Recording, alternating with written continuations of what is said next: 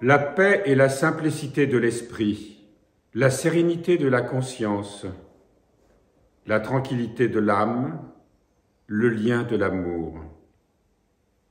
La paix est l'ordre, elle est l'harmonie en chacun de nous, elle est une joie continuelle qui naît du témoignage de la bonne conscience, elle est l'allégresse sainte d'un cœur où règne Dieu.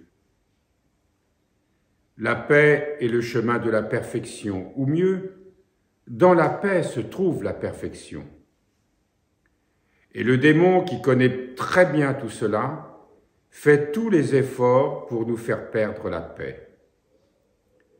L'âme ne doit s'attrister que d'une seule chose, de l'offense faite à Dieu.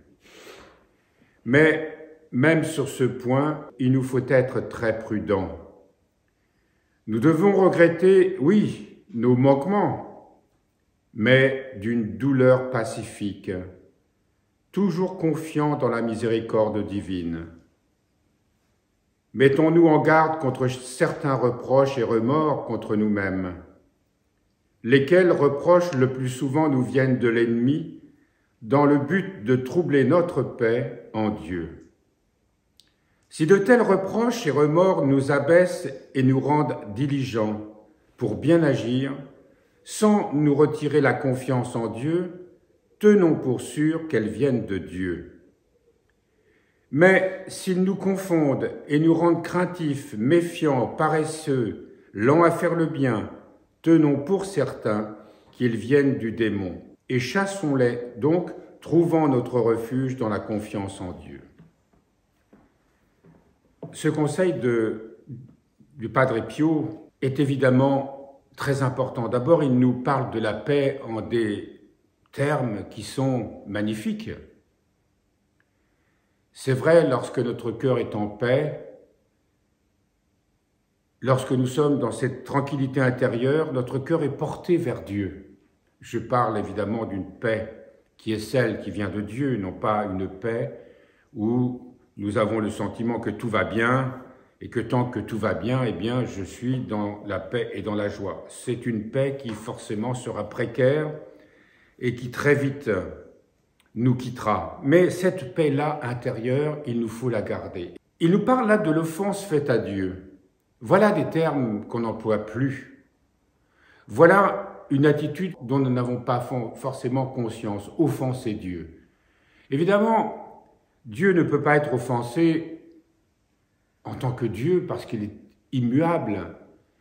Rien de ce monde ne peut le troubler. Mais il y a quelque chose dans l'amour divin et dans l'amour divin incarné en Jésus-Christ. Il y a quelque chose tout de même de cet ordre où l'amour est blessé. C'est mystérieux mais c'est là quelque chose de réel. Et notre comportement peut blesser cet amour de Dieu, cet amour divin. Lorsque nous nous rendons compte de nos faiblesses, d'une attitude qui a pu blesser notre prochain, d'une inclination dans laquelle nous sommes encore tombés,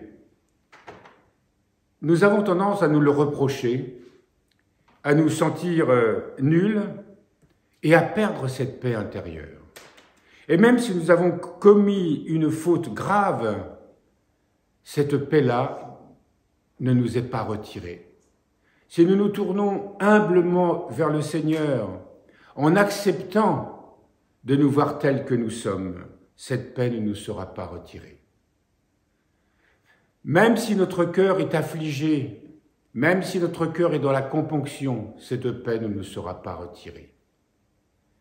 Et même, nous aurons secrètement, et c'est un mystère cela, la joie de nous sentir pardonnés, enveloppés de la miséricorde de Dieu. Le pardon n'effacera pas forcément notre sentiment de componction, parce qu'il nous est nécessaire évidemment de que cette faute nous afflige, qu'elle nous plonge dans une humilité crucifiante. Sinon, quelles leçons retirer de nos erreurs, de nos errances, de nos péchés? Cette souffrance due au repentir est vraiment une grâce sanctifiante. Et encore une fois, nous le pouvons le vivre dans la paix intérieure. Et il nous faut nous méfier du démon qui, lui, cherchera à nous culpabiliser, cherchera à nous tourmenter, cherchera justement à nous éloigner de cette paix intérieure qui nous donne l'assurance que tant que cette paix est là, nous sommes dans la grâce de Dieu. Le démon nous cherchera toujours à nous arracher à cette paix à nous isoler, à nous enfermer sur nous-mêmes, et encore une fois à nous culpabiliser, à nous enfermer dans notre propre orgueil. Tout au contraire, et c'est là le grand mystère de l'amour divin, lorsque nous, avons le sentiment de ne pas pécher, que nous sommes suffisamment attentifs, nous avons une certaine sérénité du cœur. Mais voilà que nous tombons que nous chutons et que nous sommes dans l'affliction.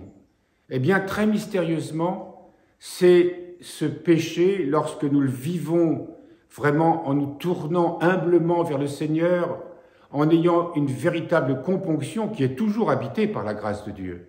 Eh bien, voilà que nous, c'est comme si nous nous réveillons. Nous avions le sentiment que tout allait bien, que nous marchions droitement, et en fait, sans nous en rendre compte, nous nous étions assoupis. Nous manquions déjà de vigilance et ce péché nous le rappelle et nous ramène vers Dieu. Et c'est en, en ce sens que si nous le vivons comme Saint Padre Pio nous le dit ce matin, eh bien, il nous ramènera vers Dieu, nous rétablira, nous restaurera, dans sa paix et dans sa joie.